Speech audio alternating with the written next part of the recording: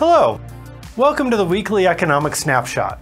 Although inflation has come down significantly from its peak in 2022, each new release of inflation data is still being closely watched for signs about what the Fed might do with interest rates. The Fed has said they are waiting for the data to give them confidence that inflation is coming sustainably down to their 2% goal before cutting the federal funds rate target. Late last year, it looked like we were on track to get there soon, but the data from the first quarter of 2024 haven't been as encouraging. The Fed's inflation target is for a measure called the PCE, that's Personal Consumption Expenditures, Price Index.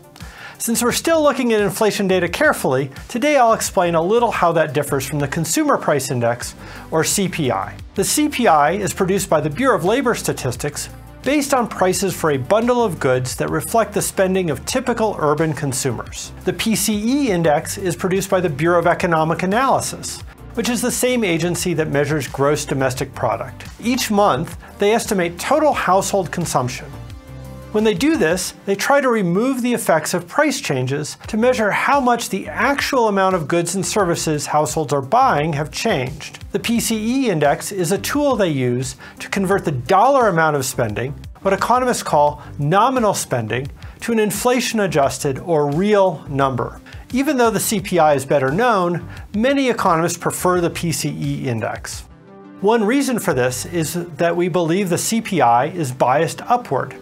The main reason for this is that it is based on a basket of goods that doesn't change from one month to the next, and therefore doesn't fully account for how consumers adjust their spending when prices change. We call this substitution bias. For example, imagine if a frost in Florida caused the price of oranges to double overnight. Consumers would probably respond by purchasing fewer oranges and more apples.